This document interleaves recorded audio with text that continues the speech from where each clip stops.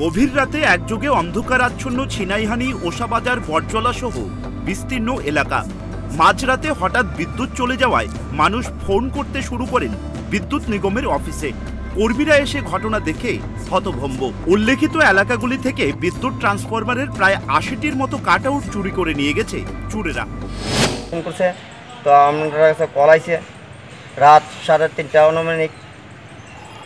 আমরা কল আইছে আমরা পনেরো পাঁচটার সময় বাড়িয়েছি বাড়িয়ে দেখি সব জায়গা জায়গা কাটত নাই। কোন কোন জায়গা? বটরত্ন ক্লাব সিনিয়নি তারপর তো হচ্ছে বিয়ের বাড়ি তারপর তো উষা বাজার সৎসঙ্গ তারপর তো হচ্ছে সূর্য সেনপাড়া তারপর তো বরজলা টেটিসি তারপর তো বরজলা মিল বরজলা তিনশো মামা স্কুলের আগে। বাজার এই মনে হয় অনুমানিক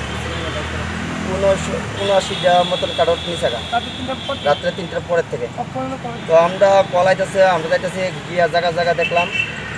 কারণ নাই। এ ধরনের সরকারি কাট আউট চুরির ঘটনা রাজ্যে সম্ভবত প্রথম। চুরির এই নতুন ট্রেন্ড দেখে অবাক সাধারণ মানুষ। এলাকা অন্ধকার করে বড় ধরনের কোনো নাশকতা চালানো কি পরিকল্পনা ছিল এর পেছনে? নাকি সাদামাটা চুরির ঘটনা? উঠছে প্রশ্ন। আবার অনেকে বলছেন সম্ভবত চুরি করা এই কাট আউটগুলি বাংলাদেশ বা বহির্রাজ্যে পাচার হতে পারে।